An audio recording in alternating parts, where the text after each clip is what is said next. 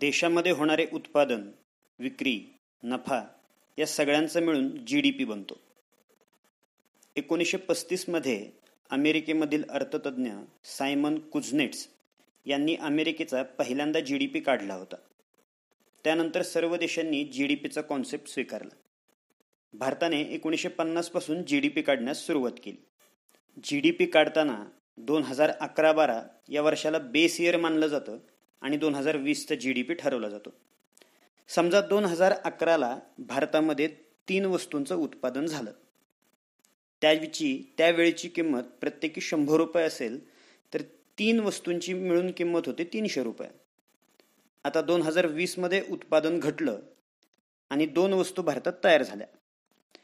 परंतु महागाई वाढल्यामुळे त्याची किंमतही वाढली आणि एका वस्तूची किंमत दीडशे रुपये ठेवली. त्यामुळे दोन वस्तूंची किंमत झाली तीनशे रुपये. म्हणजे दोन हजार अकरा बारालाही भारत तीनशे रुपयेच कमवत होता आणि आताही तीनशेच कमवतो.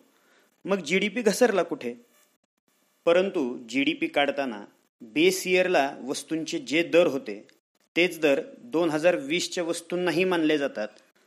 आणि बाकी उरलेली रक्कम जर पॉझिटिव्हमध्ये आली तर जी डी पी वाढला आणि रक्कम मायनसमध्ये गेली तर जी डी पी घसरला. असे समजले जाते.